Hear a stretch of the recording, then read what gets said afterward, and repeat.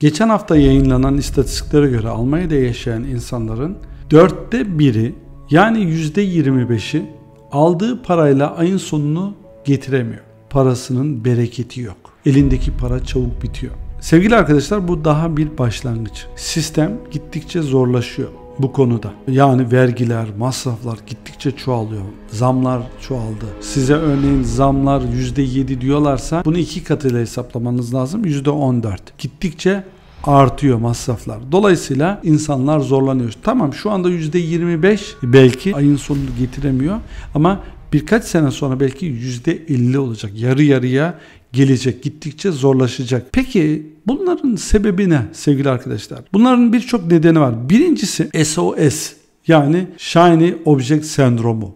Parlayan nesneler sendromu. Sizin dikkatinizi çeken, sizin konsantrasyonunuzu bozan, sizi odak noktasından koparan başka nesneler, parlayan nesneler sizin daha fazla masraf yapmanıza sebep olabiliyor. Örneğin sosyal medya. Devamlı odak noktanızı başka yere götürüyor. Şöyle örnek vereyim. Sizin bir arabanız var. Çok güzel. Memnunsunuz. Sizi götürüyor. Fakat sosyal medyada sizin arkadaşınızın daha iyi arabası var. Bu sefer ne yapıyorsunuz?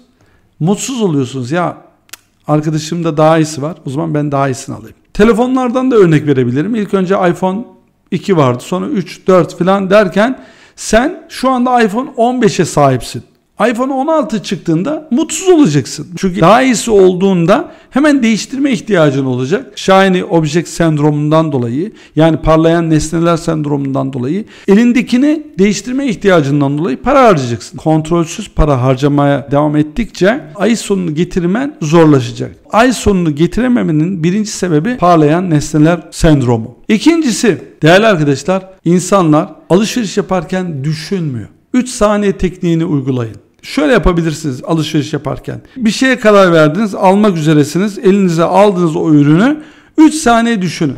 Benim bu ürüne ihtiyacım var mı?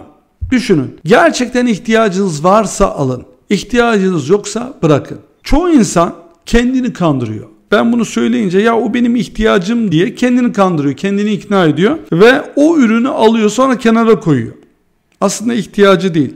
İstekle ihtiyacı ayırman lazım. Bak 3 saniye tekniği ile ihtiyaç mı istek mi? Bunu ayır. Öyle alışverişini yap. Hatta şunu da söyleyebilirim. Üçüncü adım. O ürünü alacağına mesela iPhone 12 var elinde. idare ediyorsun. Sıkıntı yok. iPhone 15 istiyorsun hevesle. Yani bir isteğin var. Onu aldın. Tam parayı ödeyeceksin. iPhone 15'i alacaksın. Oraya ödeyeceğin parayı telefona ödeyeceğin parayı git hisse senedini al. Git iPhone'un hisse senedini al. Apple'a yatırım yap. Kaç para? Örneğin 1500 euro. 1500 euroya 3 tane veya 5 tane veya 10 tane hisse senedi alacaksın. iPhone 12 ile de idare edersin. Çünkü aynı işi görüyor. 1500 euro telefona vereceğin parayı hisse senedine yatırdın. Bir sene, iki sene sonra 1500 euro olacak büyük bir ihtimalle teknoloji hızlı hızlı gelişiyor biliyorsunuz. En azından %10 kazanırsın. Yani 1500 euro 1600 euro olur. En kötü ihtimalle. Dolayısıyla parayı bu şekilde değerlendir. Yani 3 saniye tekniği istek mi, ihtiyaç mı? Bununla beraber ürüne değil, ürünün firmasına yatırımını yap. Bunun yanında mutlaka çok önemli kıtlık bilincinden kurtul. Yani finansal okur yazarlığı öğren. Finansal okur yazarlığı öğrenirsen para nasıl harcanır, nasıl kazanılır öğrenirsen parayla nasıl yaşamalısın, nasıl umgen yaparsın, nasıl kullanırsın bunları öğrenirsen bu anlattıklarım daha iyi kavrarsın. Bunun yanında kıtlık bilincinden kurtulmak için seni kısıtlayan cümleleri parayla alakalı, zenginlikle alakalı, finansla alakalı ne varsa bir avcı gibi o cümleleri, negatif cümleleri avcı gibi yakala ve hayatından söküp çıkar at. Ve mantıklı cevaplar ver onların karşılığında. Yani zenginler kötüdür diye içinde bir cümle devamlı tekrarlıyorsa bu cümleye karşılık mantıksal cevaplar ver. Mesela bütün zenginler mi kötüdür? Yani genellemeye karşı o soruyu sor. Bütün zenginler mi kötü? Hiç mi iyi zengin yok? Gibi. Bunun yanında fakirlik çok iyidir, azizdir, ondan sonra fakirlik büyüklüktür filan diye içinde yine kıtlık bilincine sahip bir cümleyi kullanıyorsan ona da mantıklı bir cevap vererek fakirlik gerçekten iyi midir? Bütün fakirler mutlu mudur gibi sorular sorarak mantıkla cevap verdiğinde o genellemelerinden kurtulursun. Yani seni kısıtlayan cümlelerden kurtulman lazım. Bunları hayatından çıkaracaksın. Bunun yanında şunları da eklemek istiyorum. Eğer sen seni kısıtlayan bir cümleyi söylersen yapamıyorum diye sesli söylediğinde bunu senin kulağın duyuyor. Kulağın duyunca senin içindeki bilgisayar bunu emir olarak kabul ediyor. Ve günlük 80 bin ile 90 bin arasında tekrarlama potansiyeline sahip.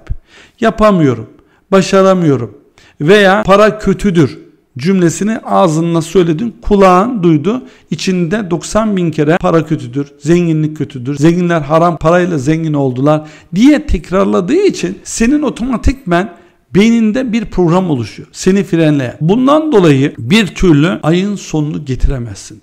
Ve Değerli arkadaşlar şunu açık ve net söyleyeyim. Para insanı mutlu eder diye bir kaide yok. Ama parasızlık mutsuz ediyor. Bunu bilmek gerekiyor. Bu bir garanti. Dolayısıyla parasız mutsuz olacağına paralı mutsuz ol. Onu mutluluğa çevirmek daha kolay. Mesela senin paran var ama mutsuzsun. Ne yapabilirsin? Hayır hasanat yaparsın. O kadar ihtiyacı olan insanlar var. Hayır yaptığın zaman verdikçe sen mutlu olursun zaten. Çünkü mutlu olmanın en büyük sırrı başka insanları mutlu etmekten geçer. Yani bir insana iyilik yaparsın, tebessüm eder, güler, teşekkür eder sen mutlu olursun. Yani mutluluğun sırrı serotonin hormonudur. Serotonin hormonunda başka insanları mutlu ettikten sonra onun yüzünde gördüğün mutluluğu gördüğünde serotonin hormonu tetiklenir ve öyle mutlu olursun. Dopamin hormonu gibi senin ihtiyacın olan mutluluk hormonları o zaman tetiklenir. Dolayısıyla değerli arkadaşlar bu saydığım maddelere dikkat et, kalbinle dinle, bunları not al ve hayatına yansıt.